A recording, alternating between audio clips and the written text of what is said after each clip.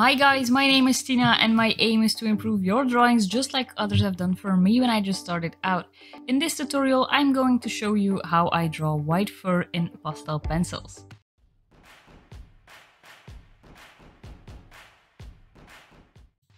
For the sake of learning and also because this is one of the hardest things to do, I'm going to show how I go about drawing white fur on white paper. I do have to add that if you have a tone paper to your disposal, it's wise to use it. Because of the ability that pastel can layer light on top of dark colors, you can use this toned paper to your advantage with the white fur. Now back to the subject at hand. We start by blocking in the colors for the underlayer. For these I'm using a darker beige and a lighter one. Where the fur is darker I use the first one and where my highlights are I am going over it with the lighter one. Then we blend everything out and you can see where we blended the two colors together we now have another tone on the paper. You can blend however you like, but I love to use the soft tool by Pan Pastel. This tool is especially handy on smaller areas like these. Once your underlayer is in place, we can start adding some detail. My first layer is with a light creamy color, and because it's so light, it doesn't show as good in the video as I would have liked, but just keep adding these strokes in the direction of the fur and you will start to see them. Next up, we will add some strokes with a warmer grey tone. This is to increase the contrast on the piece. Keep in mind that you don't have to use the exact same pencils for this. You can use whichever brand you like as long as it is in the same color range and tone. When adding these lines, it's really important to follow your reference photo because they define the clumps of hairs you see in your subject. As you can see, I'm blending them out a little, just a soft touch goes a long way. I do this because I prefer a softer look, but you can also just leave it the way it is. Whichever way you choose to work is just fine. We want to add some contrast to the lighter area on the left as well.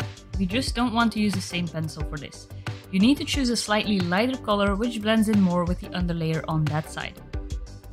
Remember to pick a lighter color and use gentle strokes. You are not after the fine strokes here, just a mere hint of the color will go a long way in letting your piece look more realistic. If your piece on the other hand was more cooler than mine, just choose more cool colors like greys instead of the creamy colors I've used. Also, my reference photo is from a warm subject with not a lot of reflected light. If the fur you are trying to make is from a white dog sitting in the grass where you can clearly see some of the green in your subject, now is a time when you should add some green. Blue for instance if it was a clear blue sky and so on. Now with all of this in place, this is a time when we are going to start adding in the white. Especially when working on white paper, you need to build up the other colors first so your white really shows up. Just add in these white hairs on top to finish off the piece.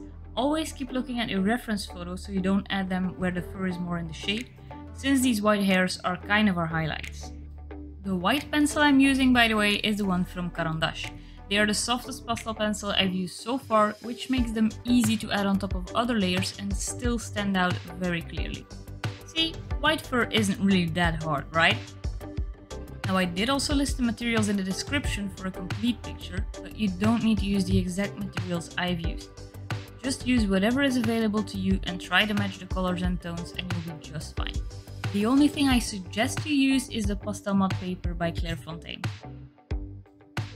Little side note, I started in pastel on a different paper and it just didn't work for me. I wasn't happy with the way it looked and I didn't even enjoy working at the medium, so for a good year I even laid down my pastel pencil and enjoyed colored pencil instead. Then I read a great article about Pastelmat and decided to give it another go. And sure enough, I fell in love. Now I'm not sponsored or so, so I'm not being biased or anything. It's just that I found this paper to hold the layers of pastel the best. And if you are happy with the other papers, then just do your thing. Do whatever makes you happy. If you haven't already and you like my content, feel free to subscribe to my channel. I usually upload a video each Friday, but hit that bell notification if you never want to miss out on any of my videos. Okay guys, you've made it to the end of this small lesson, and to make sure you guys see what I mean, next week I'll be posting a tutorial of a white wolf. Thank you so much for watching and just keep practicing. Like Bob Ross used to say, talent is a pursued interest.